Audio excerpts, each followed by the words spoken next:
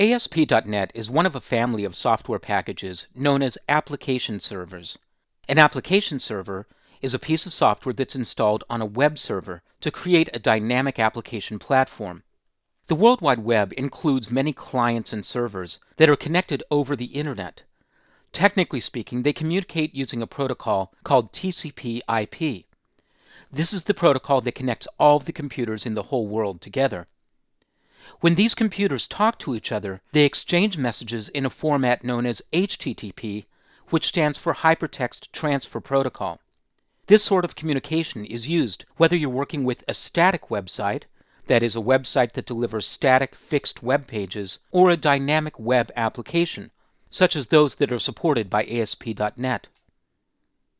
A client starts the process by sending a request in the HTTP format. The client requests a web resource, which might be a web page, an image file, or text files that contain JavaScript or cascading stylesheet code known as CSS. The server responds by sending back the resource that's been requested.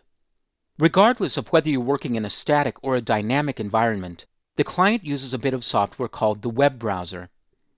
Personal computers, such as those running on Windows or Mac, use web browsers such as Internet Explorer, Firefox, or Safari. There are many other kinds of web clients, though, including cell phones and PDAs, such as Blackberries. The web server is a computer that runs a piece of software called the HTTP server. There are two major HTTP server products on the market. Microsoft's Internet Information Services, also known as IIS, which is only available for the Windows platform, and Apache, which is a free HTTP server product developed by and provided by the Apache Foundation. If you're going to work with ASP.NET, you'll be deploying your web application or your dynamic website using Internet Information Services because only IIS does a good job of integrating the ASP.NET application server. Here's how a static web page works. The web client makes a request for the resource, let's say a web page, by sending an HTTP formatted request over the internet to the server. The server responds by locating the file on its hard disk that's been requested. This is known as a static web page with a file extension typically of .htm or .html. The web server responds by sending that content back to the client. And the client, which might be a web browser on a personal computer, renders and displays the web page visually. When you move to the dynamic environment, the application server software is installed on the same computer as the web server, let's say Internet Information Services and ASP.NET. The application server, in this case ASP.NET, can communicate with the database and with other server resources. Once again, the web client makes the HTTP formatted request. The web server talks to the application server, the application server talks to the database and other network resources. And then it's up to the web server to construct an HTML formatted response, which once again is sent back to the web client.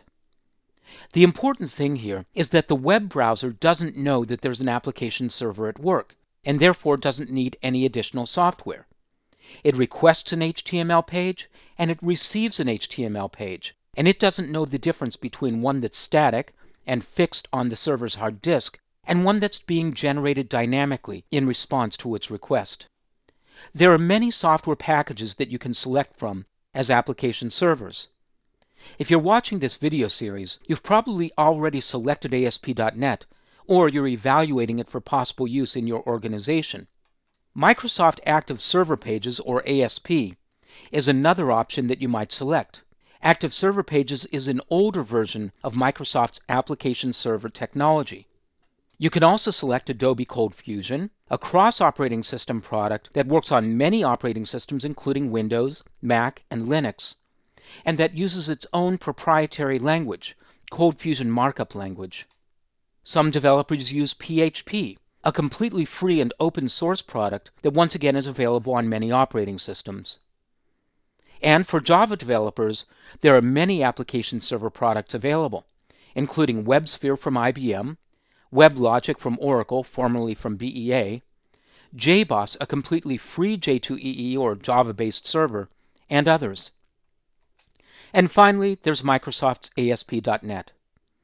As you'll learn in this video series, ASP.NET is an object-oriented platform that allows you to select from multiple programming languages to create a dynamic, web-based application where the client makes a standard HTTP request and the server responds by constructing HTML dynamically and sending that content back to the client.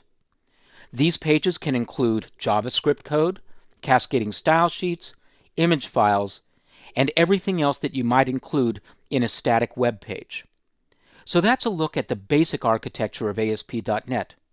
In other videos in this chapter, I describe how to install ASP.NET along with a product called Visual Web Developer, an integrated development environment that can get you started quickly building ASP.NET based dynamic web applications.